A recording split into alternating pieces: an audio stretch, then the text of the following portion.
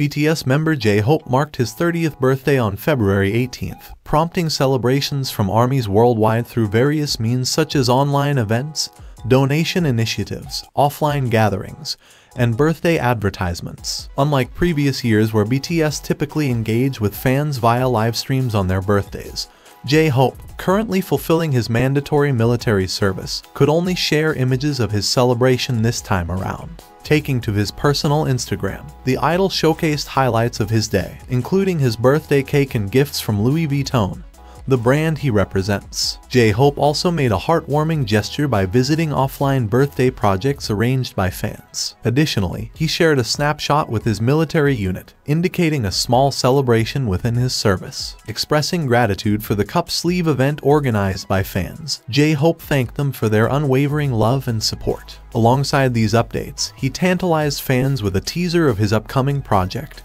Hope on the Street. While this birthday marks a significant milestone for J-Hope, it seems ARMYs are the ones receiving the greatest gifts of appreciation.